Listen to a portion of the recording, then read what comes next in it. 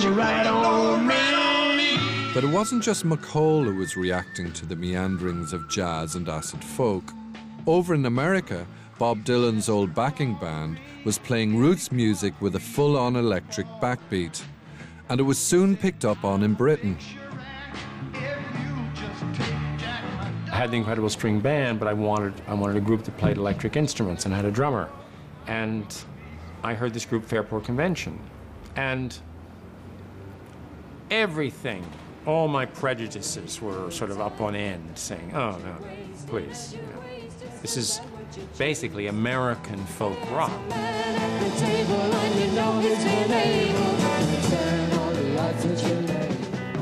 And then Richard took a solo. And I just went, what?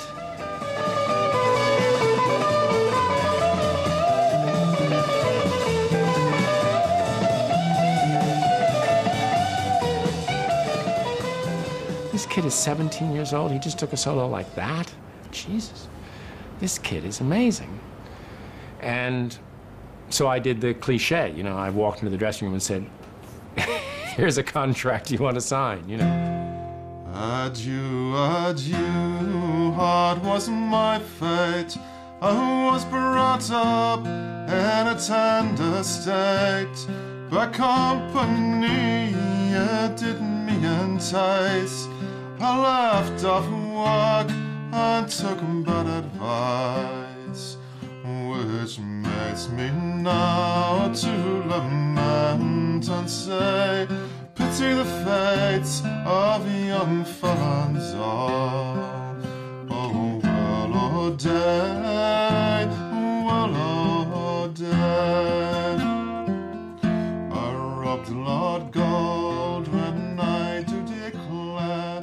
In an effort to switch to a more English sound, Fairport Convention recruited two well known faces from the folk scene fiddler Dave Swarbrick and a young singer songwriter called Sandy Denny. This train don't carry no gamblers, this train. This train don't carry no gamblers, this train. I was worried that Sandy was too powerful of personality. The Fairport guys were all quite sort of shy and quiet. Sandy was effing and blinding and knocking over drinks and, you know, uh, spilling cigarette ash everywhere and, you know, shouting. And, um, and I just thought she'd eat them for breakfast. But once she played with them, she was so in awe of Richard's musicianship that she went, okay, just tell me what to do at first.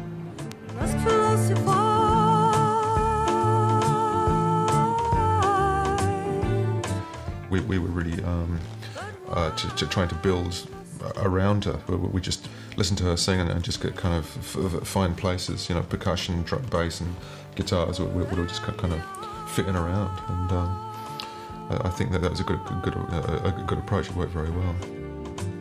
You tell me things no one else hears. She not only livened them up a bit as from her personality and made them musically, vocally much more powerful as a band, but she got Richard writing songs. You know, she wrote songs, why couldn't Richard? With a whole new English repertoire, Fairport Convention's new lineup recorded Liege & Lief in 1969. Folk rock was born.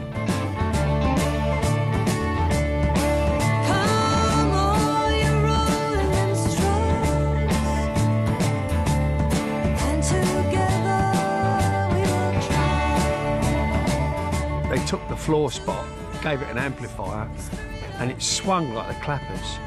They'd singing traditional songs. and.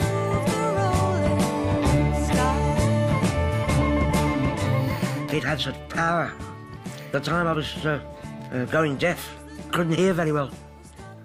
All of a sudden, I could hear Jesus. You could, you could hear me in Timbuktu, you know.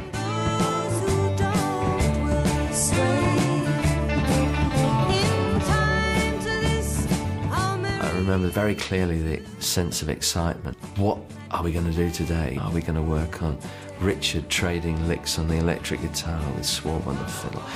Or were we going to work on ballads with Sandy singing and we'd have to kind of work out what we were going to play behind, you know? Very exciting time.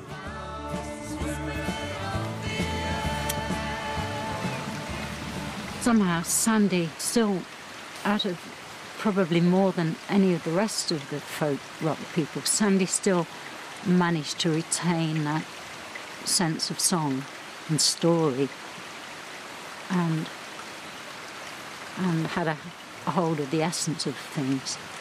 And I, I, admired her for being able to do that, and it's, she was quite unique in that, I, I feel.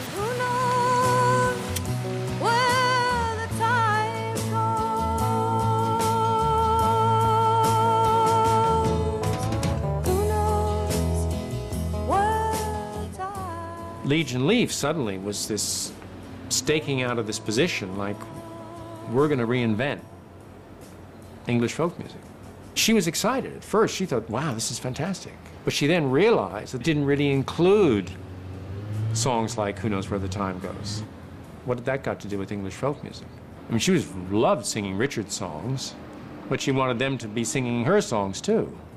So I think that was a key reason why she left.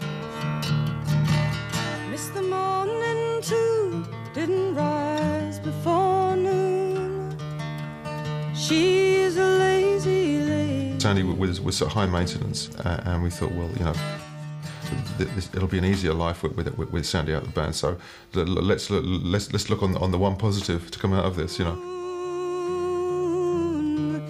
You're a crazy lady. She was like a man in some ways in those in those days where she, uh, you know, she said what she thought and she went out with who she wanted to and, you know, had one night stands if she wanted to and, and did all those things that were a, a little unusual in um, in those days. Now should I say more?